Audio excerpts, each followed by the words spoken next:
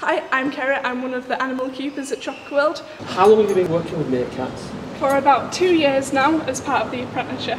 How long did it take you to get the meerkats to trust you like this? As long as you're in there, more or less every day, two or three times a day, um, it can take a couple of weeks for them to fully get used to you, um, and then you become part of their gang. I saw a number of the meerkats crawling all over you. Was one of them Dad?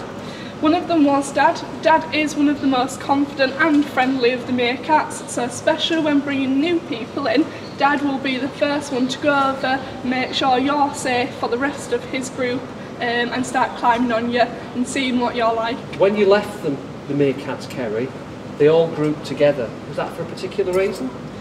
After I leave, because I've put a new smell in the enclosure, they need to make sure that it smells of them again. So they group together, it's like a big group cuddle, and making sure everyone smells the same, making sure that that spot smells the same, so they're more or less pronouncing that and each other like all one big group.